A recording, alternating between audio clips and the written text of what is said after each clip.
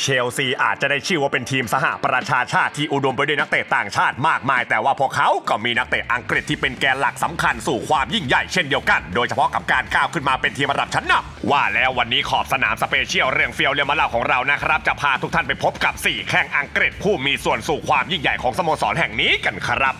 เริ่มจากคนแรกจอห์นเทอร์รี่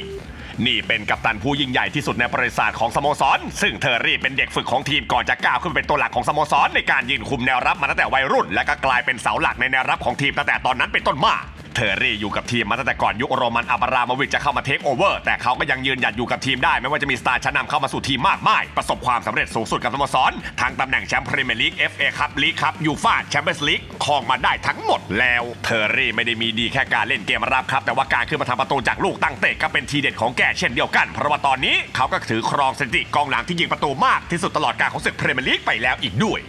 คนที่2แอชลีย์โคล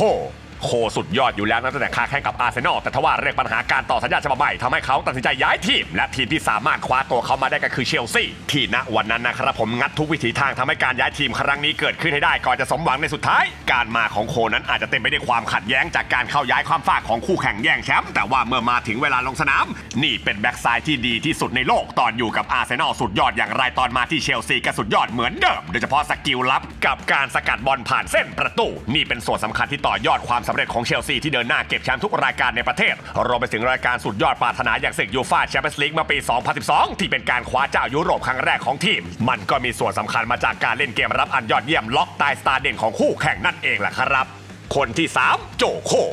นี่เป็นอีกหนึ่งโคลที่เป็นขวัญใจของแฟนบอลหลาย ๆ คนโดยเฉพาะแฟนบอลของเชลซีซึ่งโจโคลนั้นเป็นนักเตะล็อตอันแรกที่โรมันอับราโมวิชคว้าตัวเข้ามาสู่ทีมด้วยลีลาการเล่นอันเร้าใจเทคนิคอันเหนือชั้นทำให้พี่โคนะครับได้ใจแฟนบอลของเชลซีอย่างรวดเร็ว เขามาพีคมาก ๆ ในยุคของการคุมทัพของโชเซ่มูรินโญ่กับการมีชื่อเข้าชิงนักเตะยอดเยี่ยมของ PFA รวมไปถึงมีส่วนช่วยเชลซีคว้าแชมป์ลีกสูงสุดที่รอคอยมา 50 ปีอย่างยิ่งใหญ่ถ้าวัดกันที่เรื่องของพรสวรรค์ตัวของโจโคคนนี้ไม่เป็นรองใคร มันน่าเสียดายตรงที่อาการบาดเจ็บหนักคอยเล่นงานเขาตลอดทำให้ไม่สามารถต่อยอดและรักษาความเก่งกาจเอาไว้ได้ แต่ว่าความสุดยอดของเขานะครับก็ถือว่าเป็นตัวบุกเบิกยุคทองของเชลซีเช่นเดียวกันให้มายิ่งใหญ่จนถึงวันนี้เลยละครับ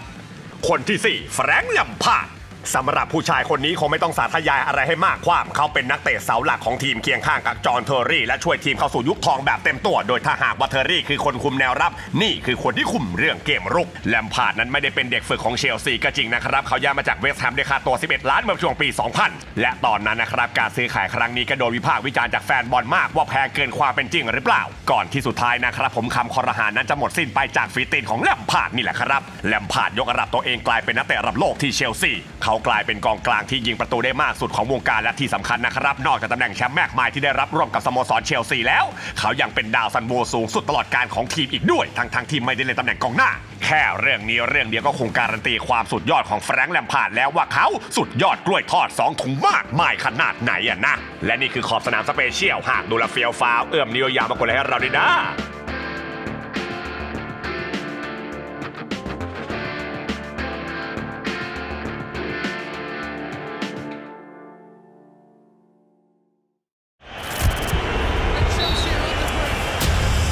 Chelsea FC didn't begin here.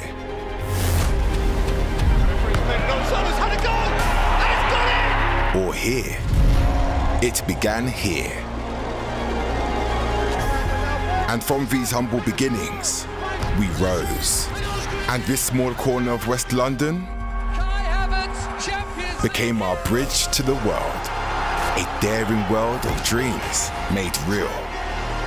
Across the globe, we carry one flag. We unite under one banner. And on the pitch, we bleed the same blood. Blue is our color. Football is our game. The ambassadors of Chelsea are back. To play, to compete, to win.